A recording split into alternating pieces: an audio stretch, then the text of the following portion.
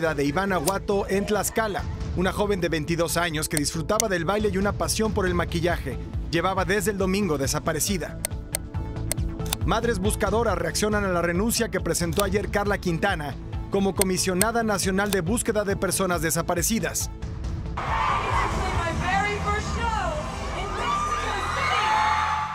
Y se enciende la Swift Manía con el primero de cuatro conciertos de Taylor Swift en la Ciudad de México. Comenzamos.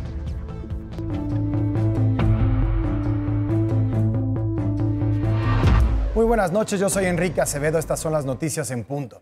Comenzamos con la historia de la joven de 22 años, Ivana Guato Becerra, reportada como desaparecida desde el domingo pasado cuando fue vista por última vez a bordo de su auto en la alcaldía Tlalpan, al sur de la Ciudad de México.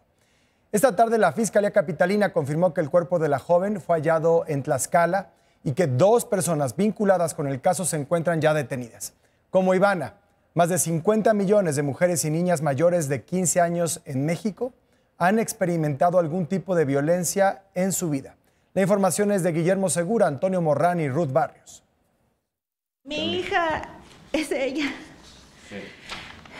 Es Ivana Guato, tiene 22 años.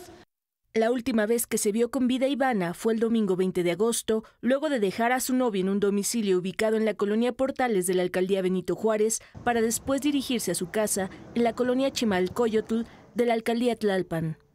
Llegó a las 5.1 a la cámara de mi hermano, metió el carro y a las 5 y 5 ya estaba apagado el teléfono. Y desde entonces no sé nada de ella.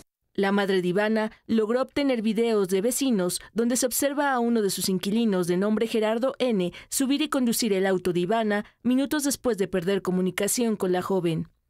Yo tengo los videos donde el muchacho que es el inquilino este, trae el carro de mi hija, o sea que la, aquí en esta área del garage le hicieron algo y porque tengo videos donde está aquí a la vuelta lo que es la casa rosa. En el video se ve incluso que, que él ya eh, se va manejando, entonces yo por eso digo que ella está, la durmieron o algo.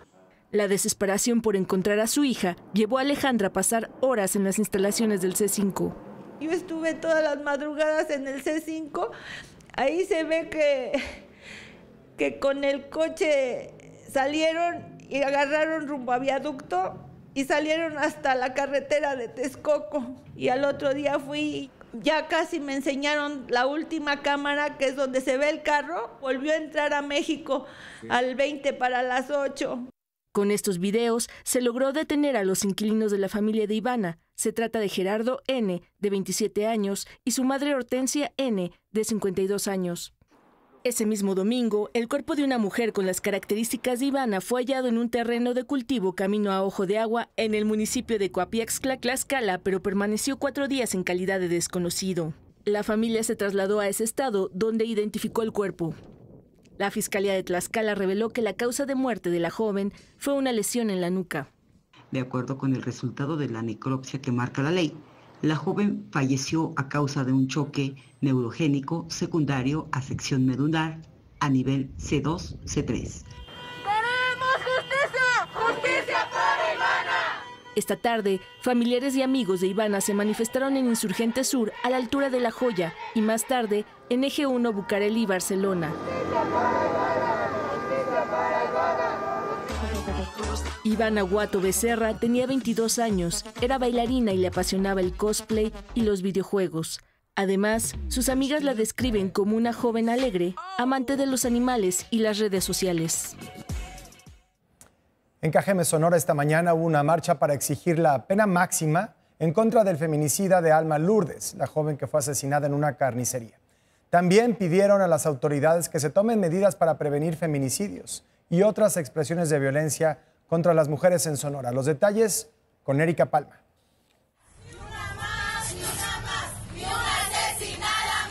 Ella no nomás defendió a Netzel, ella la postura la haría por sus empleadas, por sus trabajadoras, sus compañeras y por todas las mujeres que se quedan calladas, desgraciadamente. Familiares y amigos del Malourdes salieron a las calles en Ciudad Obregón, Sonora, para exigir una pena ejemplar contra el feminicida Hilario N., quien había acosado a la hermana menor de la víctima en la carnicería de la cual estaba a cargo Alma. Colectivos feministas, rastreadoras de Cajeme y organizaciones civiles marcharon por la avenida 5 de febrero y Miguel Alemán hasta el Palacio Municipal. Necesitamos hacerle justicia a ella, justicia a su mamá. El contingente encabezado por Idalia, mamá de Alma Lourdes, avanzó hasta la fiscalía que esta persona cumpla, cumpla con lo que le hizo a mi hija, que va a tener su castigo, que todas las mujeres se enteren que no debemos de quedarnos calladas. Los colectivos convocaron para otra movilización este viernes, día de audiencia de vinculación a proceso de Hilario N., acusado de feminicidio y acoso sexual.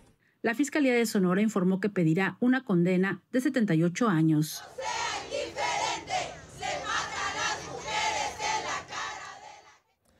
Y en más temas de inseguridad, más temas del México violento, en San Francisco del Rincón, Guanajuato, tres menores de edad, niños de 10, 12 y 17 años, fueron heridos de bala en una cancha de usos múltiples en la colonia Jardines de San Miguel. El menor de 12 años murió durante su traslado al hospital. La Secretaría de Seguridad Pública Municipal indicó que, según testigos, hombres armados bajaron de una camioneta pick-up negra y dispararon contra los jóvenes en al menos 10 ocasiones mientras jugaban fútbol y básquetbol la noche del miércoles. Asesinatos de niños en espacios públicos. A casi dos semanas de la desaparición de los cinco de Lagos de Moreno, en Jalisco, aún no han sido localizados a pesar de los cateos realizados en varios inmuebles de la región. Familiares de Dante, Diego, Jaime, Roberto y Uriel, acompañados por amigos y por vecinos, pidieron por la paz y porque sean encontrados los jóvenes y todos los desaparecidos en la región de los Altos de Jalisco. Las jornadas de oración siguen siendo convocadas para mañana viernes y también para el sábado. La repentina renuncia que presentó ayer Carla Quintana como comisionada nacional de búsqueda de personas desaparecidas ha generado reacciones en varios ámbitos, en los grupos de la sociedad civil con los colectivos de madres buscadoras y también en los pasillos políticos, reacciones encabezadas por el presidente López Obrador.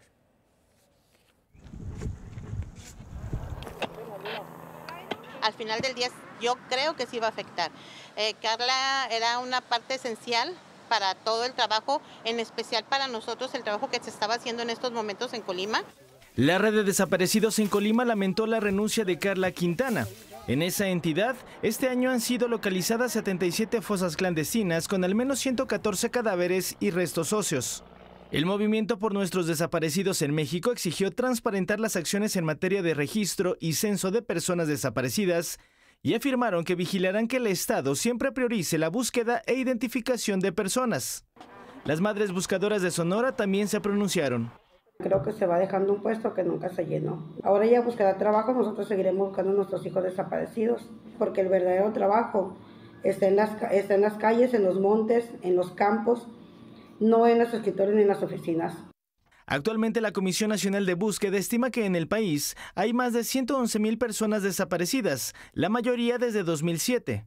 Desde junio, el gobierno federal anunció que preparaba una actualización de este censo para tener información más certera. En esa tarea, la Federación se está apoyando de las fiscalías y gobiernos estatales, así como la Secretaría de Seguridad y Protección Ciudadana y del trabajo de los llamados servidores de la Nación, quienes visitan casa por casa a fin de conocer casos y levantar el censo. Esta mañana el presidente se refirió a esta renuncia. está avanzando mucho en la búsqueda de desaparecidos, como nunca se ha hecho, se ha avanzado y se va a seguir avanzando. Más que, pues ella decide eh, renunciar. ¿A, qué se refiere Carla Quintana cuando dice el, el contexto actual? Pues puede ser por el censo o la búsqueda que se está llevando a cabo en todos lados. La secretaria de Gobernación, Luisa María Alcalde, informó que por instrucciones del presidente se emitirá una convocatoria para seleccionar a la persona que se haga cargo de la Comisión Nacional de Búsqueda. Vamos a la información política. El coordinador nacional de Movimiento Ciudadano, Dante Delgado, respondió al comunicado que firmaron ayer legisladores federales, locales y presidentes municipales en Jalisco y en el que toman distancia de su dirigencia. Dante Delgado dijo a través de X antes Twitter que el comunicado se publicó con las firmas sin haberlos enterado antes del contenido que presuntamente suscribieron. Ahí tiene lo que decía el tuit de Delgado. Por la tarde, en otro comunicado, al que se sumaron más liderazgos y coordinadores de Movimiento Ciudadano en Jalisco, dijeron que todos actúan por convicción, no por consigna, y en total libertad, sin presiones y sin amenazas. Retiraron, reiteraron su llamado para que pues, sus voces sean escuchadas a nivel estatal y federal. Más temprano, el gobernador Enrique Alfaro se reunió con Xochil Gálvez en, en la Casa de Gobierno, en Casa Jalisco. Ahí el eh, gobernador dijo que dialogar con las personas que definirán el futuro de México, conocer su visión y exponerles la situación del Estado siempre será un ejercicio productivo. Más tarde, en un video que compartió también en redes sociales, Ochil Gálvez dijo que se saludaron y que platicaron de la visión que tienen para el país, pero que por respeto no se abordó el tema interno del que hablábamos en Movimiento Ciudadano. Y justo allá en Guadalajara, en Jalisco, se realizó el cuarto y penúltimo foro regional entre las aspirantes a coordinar el Frente Amplio por México, el Frente Opositor. Xochil Gálvez y Beatriz Paredes el tema central fue el México ante el mundo. Abordaron política exterior, relaciones con Norteamérica, migración, seguridad regional y combate al cambio climático. Fue un foro de geopolítica. El sábado en Mérida, Yucatán, se realizará el último de estos foros. Esto es parte de lo que se dijo esta tarde. Hemos perdido relevancia e influencia en el mundo. Hoy el mundo es bipolar. En un polo tenemos a China y en otro polo tenemos Estados Unidos. Estamos viviendo una de las revoluciones tecnológicas más importantes en las últimas décadas. Por eso México no puede seguir en una actitud pasiva. Yo no comparto la visión de que vivamos un mundo bipolar. Me parece que en la evolución geopolítica del mundo estamos en una nueva etapa después de la globalización.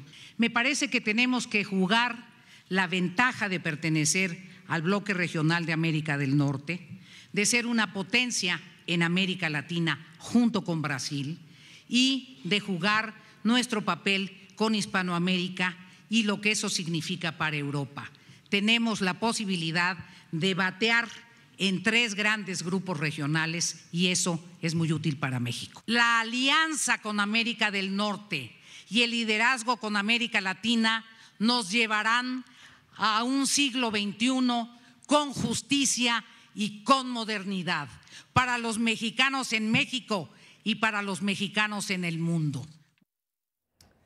esta tarde la Comisión de Quejas de Línea del Instituto Nacional Electoral ordenó al Frente Amplio por México bajar de medios sociales los foros que realizó los días 10 y 17 de agosto. Esto porque se determinó que incurrieron en posibles actos proselitistas al hablar de propuestas de gobierno, lo que violaría la equidad de la contienda del próximo año, la elección del 2024. Bueno, Marcelo Ebrard, hablando del tema, estuvo en Ciudad del Carmen, en Campeche, donde se refirió a los proyectos regionales que buscarán detonar la inversión y generar más empleos. Así lo dijo.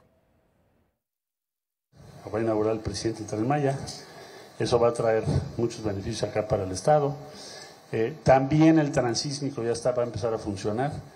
Pero sus frutos, bueno, habría que mencionar la inversión para traer gas, la instalación de plantas generadoras de energía. En conferencia de prensa, Marcelo Ebrard respondió a una pregunta de un reportero que Mario Delgado niega haber recibido las pruebas que entregó su equipo sobre presuntos acarreos y apoyo de gobernadores.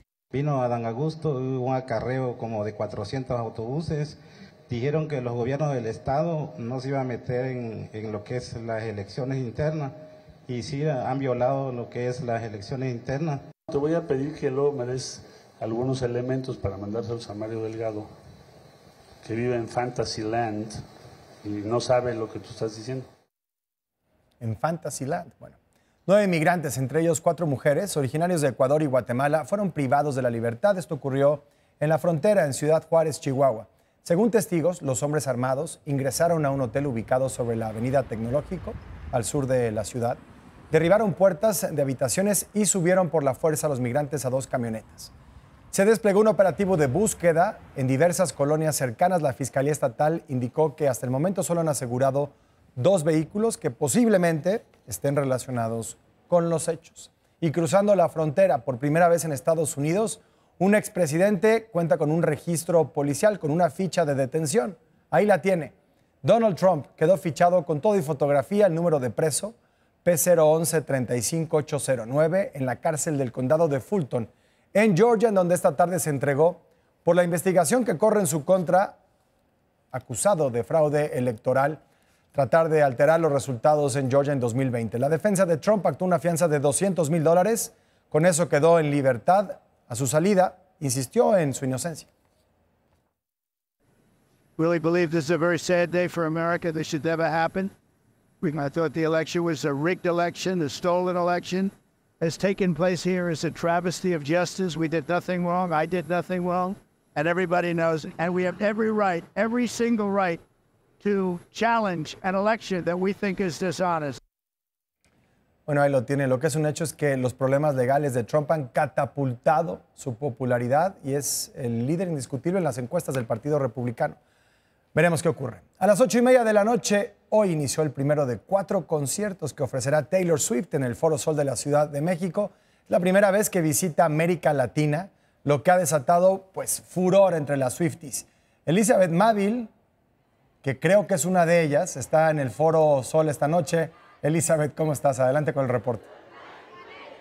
¿Qué tal, Enrique? Muy buenas noches. Nos hemos contagiado ya y es que es una locura el exterior de este recinto ubicado en Iztacalco. Cualquier lugar es bueno para escuchar, aunque sea de afuera, este concierto, ya que se dieron boletos clonados, algunos jóvenes que no pudieron conseguir boletos y bueno, esta es la lateral de Río Churubusco. Hay jóvenes que llevan más de dos horas en estructuras metálicas cantando y bailando en los camellones para poder tener un poco de esta locura de lo que es Taylor Swift en la Ciudad de México. Pero damos la información de mi compañera María Inés Rendón.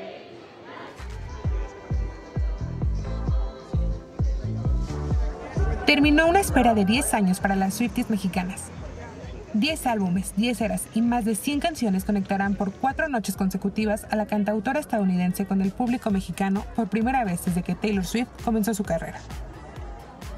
Con los brazaletes de la amistad, donde se leen fragmentos de las letras compuestas por Swift, todas con su mejor vestido y sin perder el estilo, las Swifties intercambian las pulseras que se han convertido en un símbolo. Te voy a agarrar, bonita. Ay, August, porque estamos en agosto. Reputation, Lover, Folklore, Red. Sin importar la era que haya sido la predilecta para vestir, miles de mujeres jóvenes llegaron desde temprano al Frosol. Hay quienes llegaron directo desde sus sitios de origen.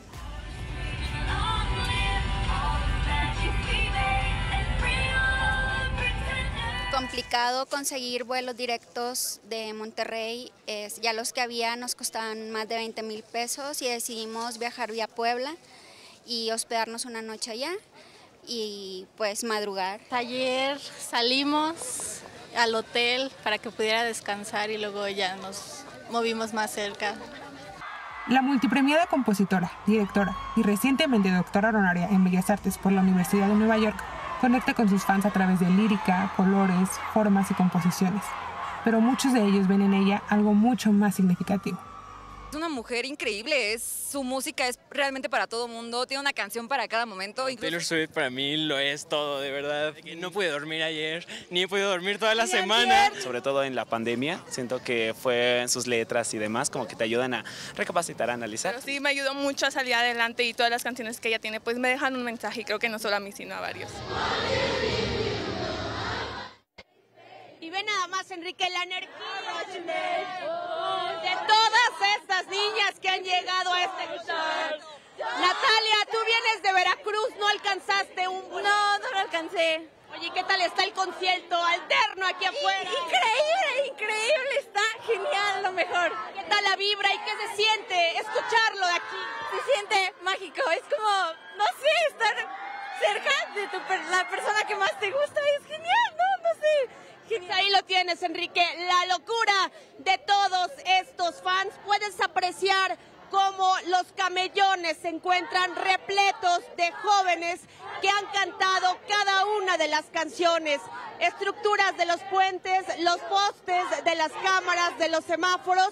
Y bueno, pues ahí tienes la energía de todos estos chicos y por supuesto algo que te envían con mucho cariño hasta el estudio, tu brazalete de la amistad. Ya, ya te iba a reclamar que no trajeras un souvenir del concierto. No, no, no. Aquí, ve, ve nada más. ¿Cuál quieres? A ver. La que te dan para Gracias. escoger el que quieras. Gracias, Elizabeth Mávil, siempre con, con ese entusiasmo y el entusiasmo también de los fanáticos. Bueno, regresamos ya al estudio y hacemos una pausa. Regresando acá, en el Estado de México frenan la entrega de los nuevos libros de texto por una orden de un juez. Y además, útiles escolares chinos, los más vendidos antes del regreso a clases. Ya le cuento.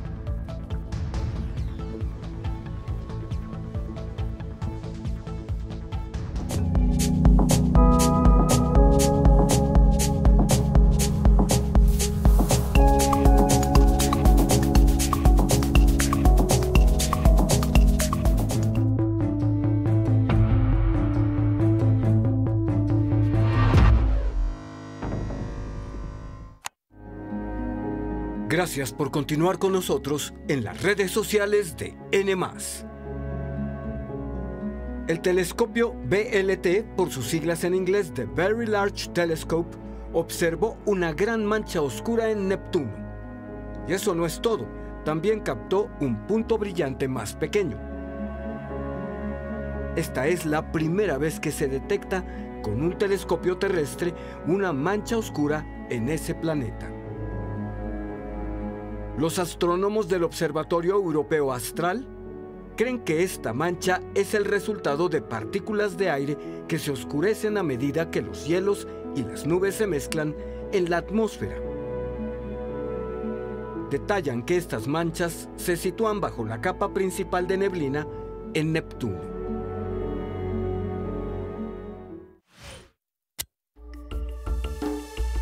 El Amazonas ya está comenzando a liberar carbono en lugar de retenerlo, asegura un estudio publicado en la revista científica Nature.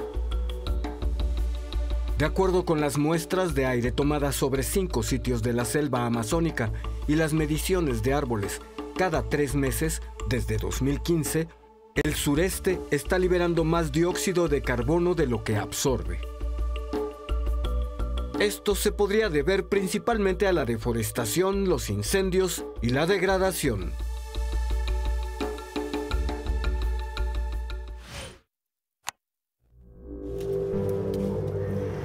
Las altas temperaturas en el sur de Francia provocaron una caída en la producción de vino, pero también ayudaron a que su calidad sea excepcional.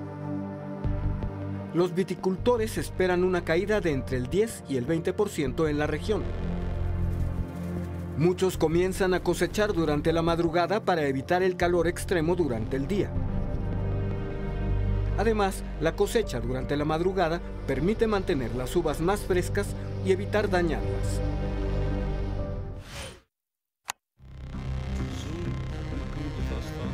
Siete niños y un hombre fueron rescatados de un teleférico que quedó varado por más de 15 horas en lo alto de un barranco en Pakistán.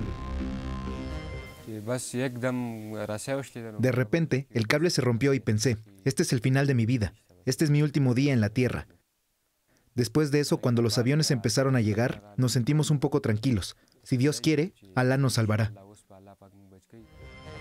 La operación de rescate se realizó primero con ayuda de un helicóptero militar. Al anochecer se instalaron reflectores y continuó vía terrestre. Gracias por continuar con nosotros.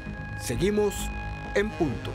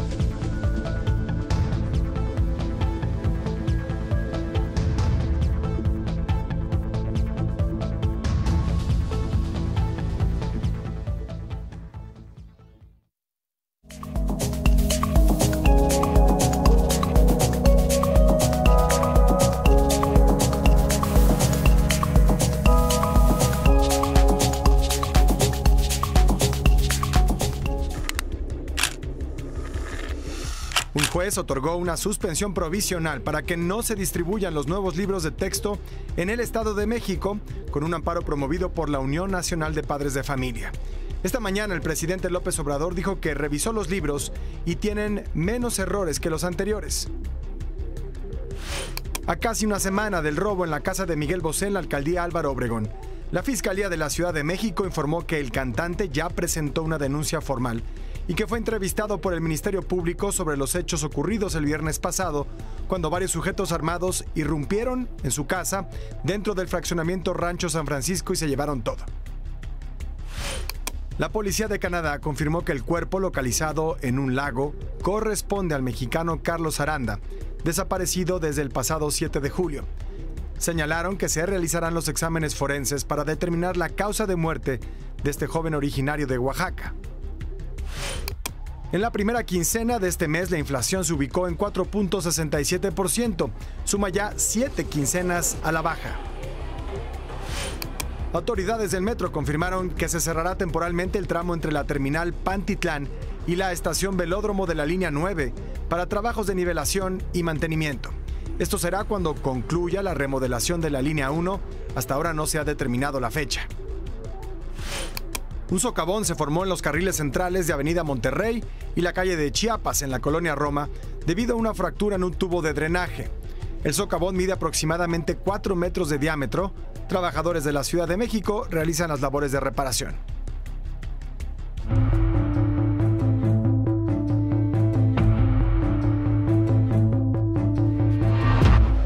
Este próximo lunes, millones de estudiantes en todo el país regresan a clases en la educación básica. Ante el aumento en los precios de los útiles, muchos padres han optado por surtir la lista utilizando productos chinos. No duran mucho, pero sacan del apuro. La información es de Elizabeth Mavi.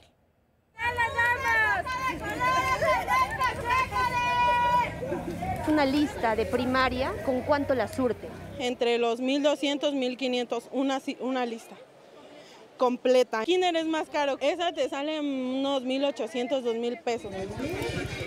El precio de los útiles escolares se ha elevado hasta en 30%, a decir de los comerciantes y de los padres de familia. El dinero no alcanza, quién sabe dónde sacamos, pero ya hicimos la compra. Lo que compró, ¿qué se le hizo lo más costoso? Pues las loncheras, las mochilas, están en 500 pesos, 300. ¿Qué fue lo que más Los colores, las libretas, la mayoría de cosas. Yo creo un 30%. 5 libretas, 100, pásenle.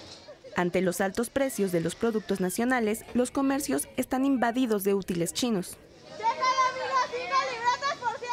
Acaba de entrar mucha mercancía china y toda la gente se va por eso. Ahorita los chinos lo que más se nos está vendiendo. De cada 10 listas de útiles que surtes, ¿cuántas llevan algo chino? La mayoría. El 90% las llevan todas este, chinas. Dos que tres original. Una lista nacional te sale en 1200 original y China te sale en 800, 700 pesos. Pongamos los plumones te salen 85 o 90, es el bueno, y el chino te sale como a 25 pesos. Es de menos calidad, a veces tratamos de ofrecerles lo chino porque para ellos, por ejemplo, hay personas que tienen tres hijos. Por ejemplo, el resistol, el chino, es este, tóxico. Aparte de que no pega, es tóxico. Se seca y se despega todo. Y eso ahora sí que es doble gasto. Pero como le repito, por la economía no, luego no da para más. Los compradores aseguran sacrifican calidad por precio. Para que empiecen y a ver cómo sale. Bueno, ya sabe, después lo barato sale caro. Hacemos una pausa. Al volver, el Pentágono asegura que no hay pruebas de que el avión en el que viajaba el líder del grupo Wagner haya sido derribado con un misil. Y dos personas vuelven a hablar gracias al uso de inteligencia artificial. Verdaderamente fascinante. Le cuento en instantes.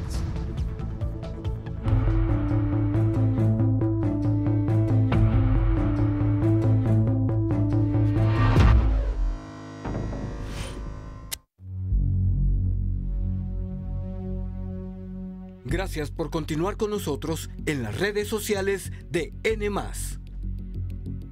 Por cuarta vez este verano los españoles enfrentan temperaturas de más de 40 grados y los efectos de esta nueva ola de calor no solo les hacen perder la cuenta, también los ponen de malas. En la cuarta, me parece, ¿no? Pues que estoy irascible. Cualquier cosa que me dice aquel señor que hay ahí me pone de los nervios. No te centras en las cosas, estás todo el día agobiado. Nada más que malhumorada, cansada, como más desganada. Agotados por las temperaturas que no dan tregua ni siquiera durante la noche, la del miércoles fue la más calurosa desde que hay registros. Los termómetros marcaron 30 grados. Dejamos de dormir nos cuesta mucho conciliar el sueño, dormimos menos horas y especialmente las horas que dormimos las dormimos con una calidad mucho peor. Nos hace que nuestra capacidad de atención, de concentración, disminuya muy significativamente. Esto hace que aumente la frustración y con ella la irritabilidad y la agresividad mantenemos una sensación de estrés acumulado que cualquier cosa pequeñita que en situaciones normales no nos irritaría, no nos preocuparía, no nos enfadaría, nuestra reacción es mucho más exagerada. El calor es como que amplifica esa sensación de malestar que tenemos físico. Las tres olas anteriores dejaron casi 400 personas fallecidas por calor excesivo. Este es el quinto año en que los termómetros en España marcan récords de temperatura y los expertos advierten, se avecinan veranos más extremos y prolongados.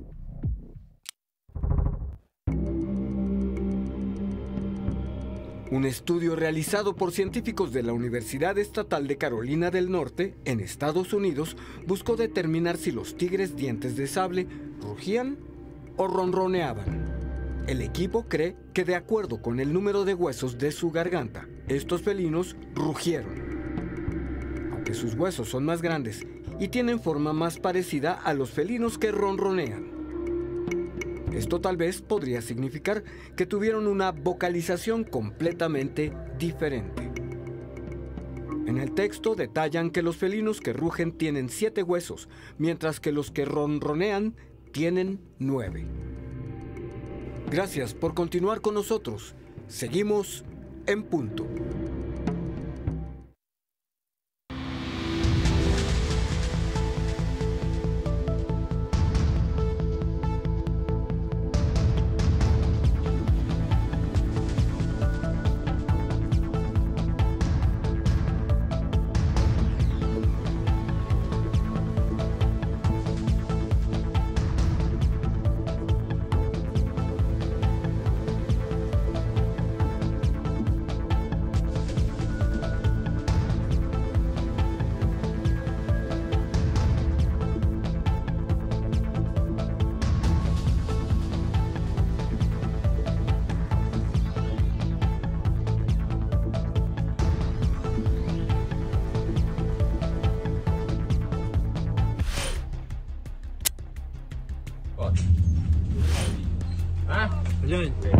Mientras las autoridades rusas investigan la causa del desplome del avión en el que murió el líder del grupo de mercenarios Wagner, Yevgeny Prigozhin, el Pentágono afirmó que no hay pruebas de que el avión hubiera sido derribado por un misil.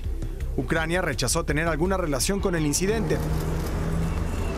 El presidente ruso Vladimir Putin dijo que Prigozhin era un hombre talentoso que cometió errores. Decenas de rusos se acercaron a los centros del grupo Wagner en San Petersburgo y Novosibirsk para depositar flores en memoria de Prigozhin. En represalia por el inicio del vertido de aguas de la planta nuclear de Fukushima hacia el Pacífico, China suspendió la importación de productos del mar de origen japonés. Tokio sostiene que el agua fue tratada para retirar residuos radiactivos tras el accidente nuclear de 2011. El grupo de países con economías emergentes, conformado por Brasil, Rusia, India, China y Sudáfrica, anunció el ingreso al bloque de seis países, entre ellos Irán y Argentina.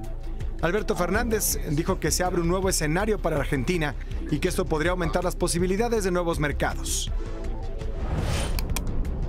El presidente de la Federación Española de Fútbol, Luis Rubiales, presentará mañana su dimisión después de que la FIFA abriera en su contra un procedimiento disciplinario por el beso en la boca no consentido que dio a la jugadora Jenny Hermoso tras el triunfo en el Mundial de Fútbol.